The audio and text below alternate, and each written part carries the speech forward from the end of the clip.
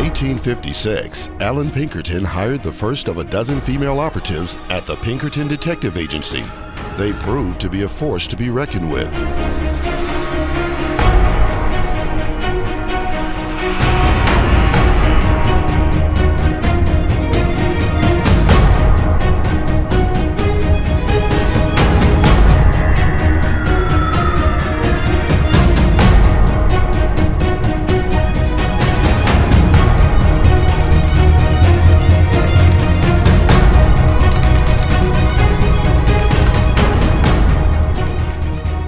Read about those daring lady agents in the new book, The Pinks. The first women detectives, operatives, and spies with the Pinkerton National Detective Agency by New York Times best-selling author Chris Enss.